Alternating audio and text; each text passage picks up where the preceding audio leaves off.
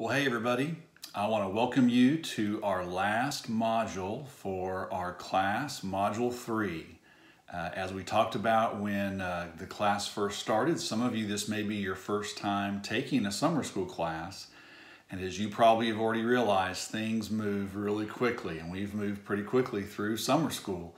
And we're headed now into our last section after the first two modules, looking at some core concepts and applications of behavior theory. We want to spend module three looking at a related theory that actually was created out of behavior theory called cognitive behavior theory or CBT. It's very possible that some of you have already learned about CBT in the DAC 1311 Counseling Theories class. I know many of us, whenever we teach that class, and that's true for me, I always make a point to cover CBT uh, whenever I teach counseling theories. I know that's true for many professors uh, who you may have taken for counseling theory. So it could be a little bit of a review for a few of you. It could be an introduction for others of you. But either way, CBT is a great uh, helping approach, and we're just going to do a little bit of intro and in this first part of module three and talk about the two, the first two core beliefs of CBT. Very, very quickly, I know a couple of announcements. I know by now you have kind of gotten uh, how the class works, but just a way of reminder. Um, so this is part A. This video kind of starts part A of module three. And in about a week on Thursday, July the 2nd, uh, part B will open. And part B will kind of be our, our send-off, our finale for the class. And I'll have a, a little uh, video and some PowerPoint for you as well too on Thursday, July the 2nd. But you have between to now and the second to work through the first part of this module. As you'll see, I have posted for you PowerPoint slides, some videos, some handouts. I've posted for you the CBT case study, which is your last written assignment uh, that you'll do for me. You just did a behavior theory or behavior mod case study, and now you'll do a CBT case study. And that will be due on Monday, July the 6th by 12 noon which is also when quiz number three opens. So just make sure you're looking at the to-do list. Make sure you are looking at the syllabus and just kind of keeping up. We're almost done. And so by now you probably have it uh, all under control and all down. But you're doing great. Hope you're doing well. Hope you're having a good summer and uh, appreciate your flexibility, adaptability, and uh, getting used to taking online classes. And this has been a good class, and I appreciate your hard work. Y'all are working hard. So let's talk about cognitive behavior theory. You may remember way back in Module 1, we talked about how one of the core beliefs of behavior theory, old school behavior theory, was that human behavior has three forms. You may remember that, just a few weeks ago. Uh, human behavior is what we do, it's what we say, and it is what we think. And you, that may have been, probably not, but that may have been the first time in that conversation that you were introduced to the term cognitive behavior.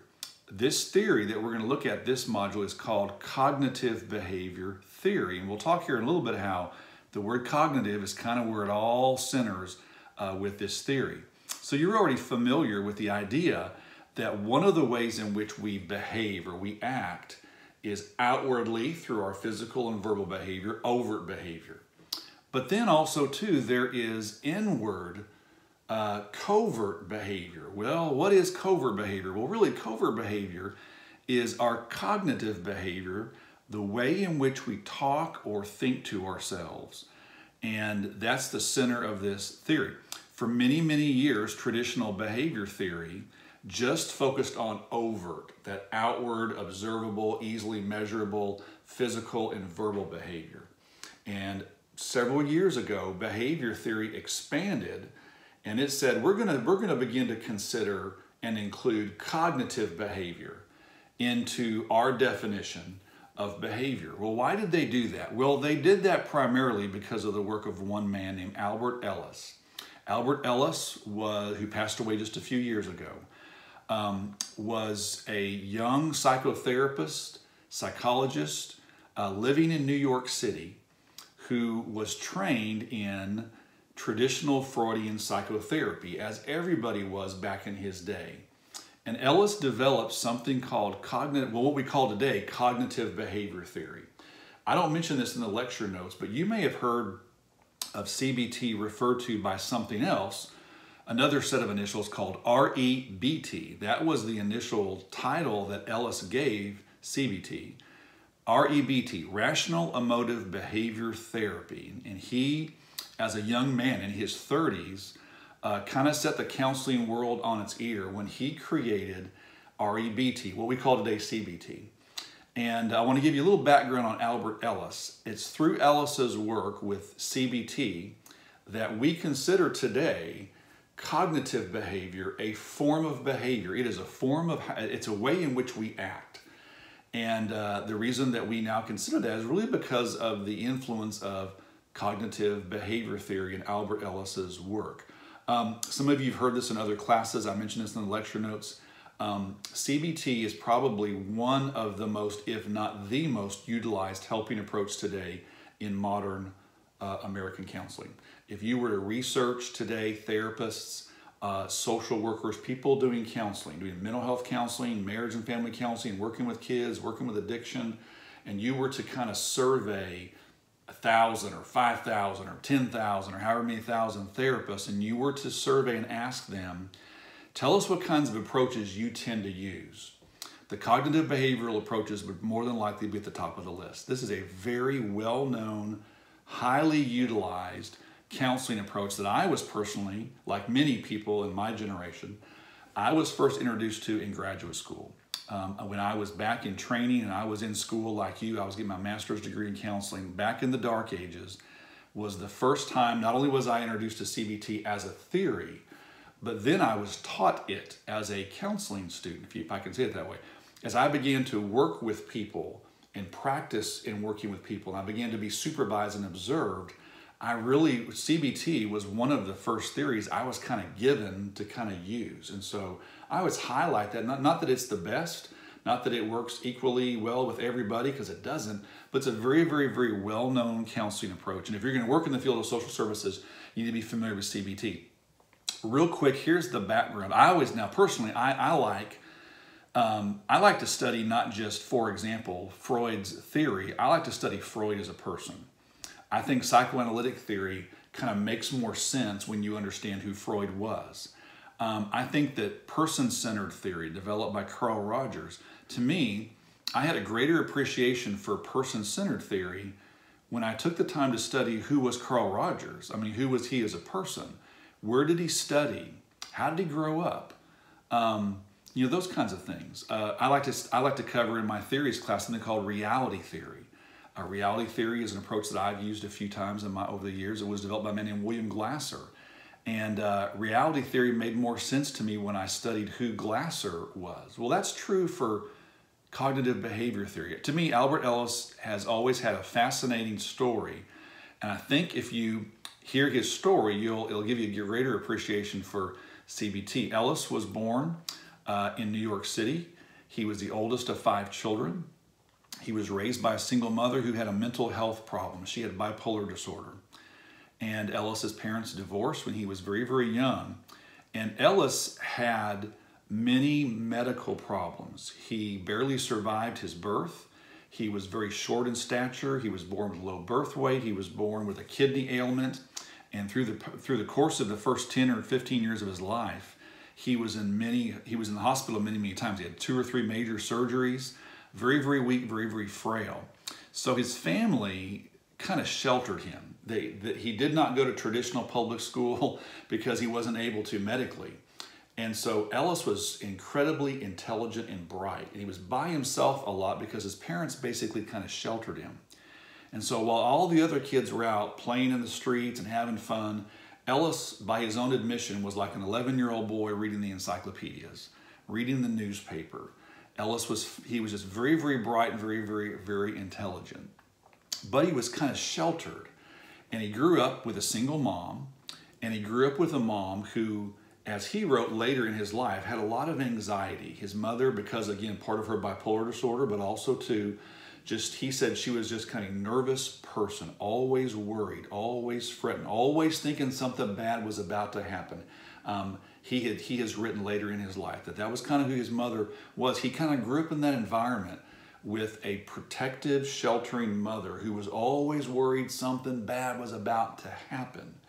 And in the middle of all that environment, Ellis thrived. Ellis graduated from high school early. He went to college, uh, studied business, uh, but quickly realized, kind of like some of you, he took a couple psychology classes as a requirement for getting his business degree. And even though he graduated with a business degree, he realized he didn't want to be an insurance salesman or whatever you do with a business degree. He wanted to be like a psychologist or a counselor because he loved psychology. He returned to college, got a bachelor's degree, another bachelor's degree in psychology, master's degree in counseling, PhD at a young age, young 30 something year old PhD, studying at Columbia University in New York City. Back in that day, the only theory that, that was out there for therapists was Freud's psychoanalytic theory. So Ellis was taught psychoanalytic theory. Uh, he studied under some great nationally known therapists at Columbia. And when he was in his 30s, Ellis was using the traditional Freudian psychotherapy, which basically teaches that human behavior is complicated. The human psyche is multi layered. And who knows why people do what they do people really can't be different and change. Our personality is set by the time we're 18, all that kind of stuff, right? So Ellis, as he got, because he was so curious um, as a young man, he just he got he got kind of disenfranchised with psychoanalytic theory. His main problem was he didn't like the idea that psychoanalytic theory suggested that to fix a problem within us takes forever. It takes a long time. Glen, if you want to be a different person, like a different dad or a different professor, well, you can. It's just going to take you six or seven or 16 or 17 years to learn how to be a different person. Well, there were a lot of people, including Ellis, who didn't like that idea. They thought that just doesn't even make sense. And Ellis did something that many theorists did, including Freud. Ellis began to look at his own life and he began to do a little self analysis. The counselor counseling and analyzing the counselor, right? We always do that within ourselves.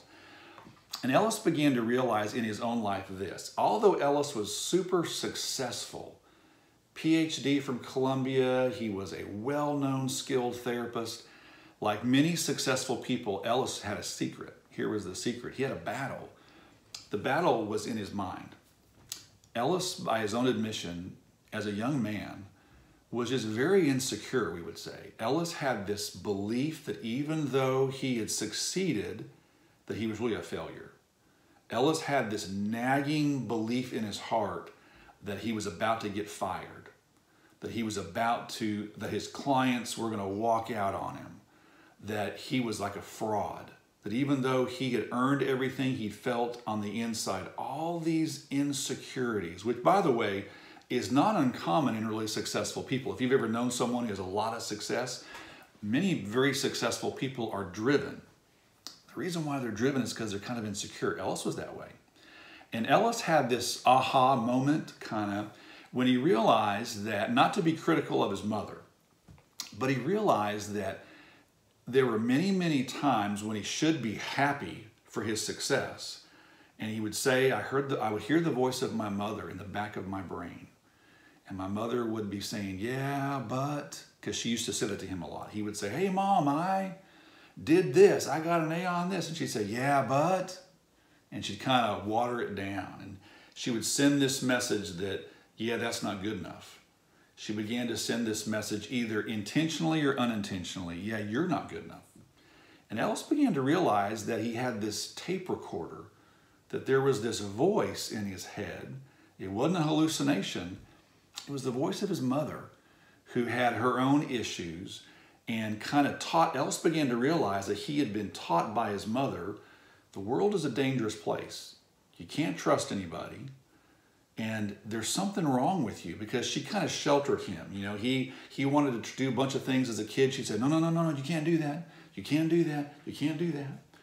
And Ellis began to realize that he had these messages, he had these beliefs, we would say, in his mind and he, he used the metaphor of a tape recorder. It's a great word picture. Even today in CBT, we use that, we use that metaphor all the time in counseling.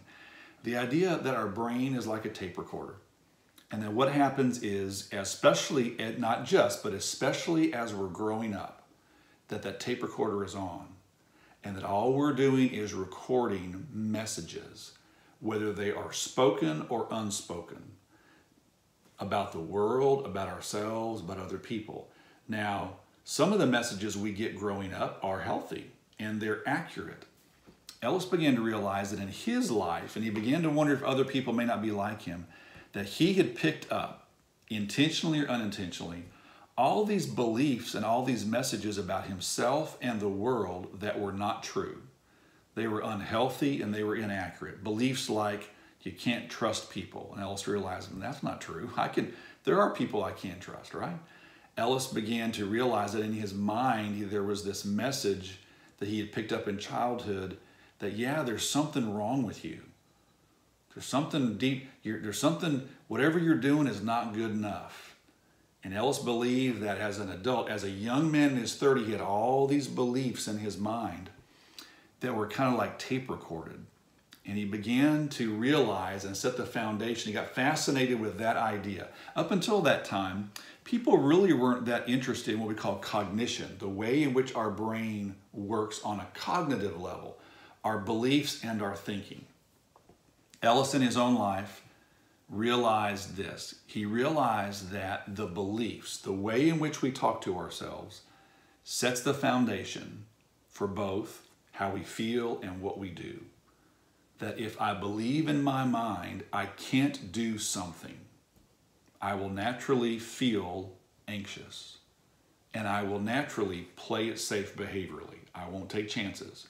But where does all that start? It starts right here. It starts with the belief, in this instance, that there's something wrong with me or whatever it might be. In the next module, we're going to talk some more about unhealthy belief systems. We'll talk more about that.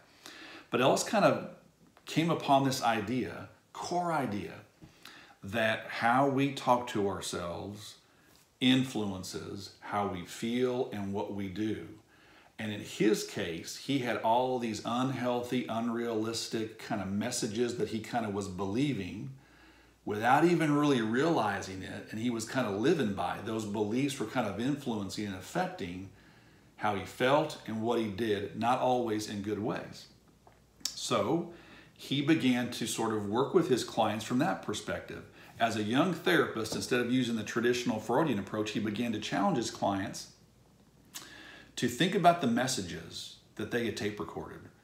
And he found that a lot of people were like him, that a lot of people had all these beliefs that they had learned from either their family or from society or from wherever, maybe a loved one, whatever, you know.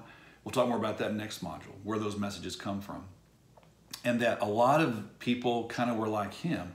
And he began to develop this theory called cognitive behavior theory, CBT, which has at its foundation the idea of our beliefs, the way in which we talk to ourselves. So, uh, what I've got for you on the next little video is there are four core beliefs that we're going to talk about related to CBT.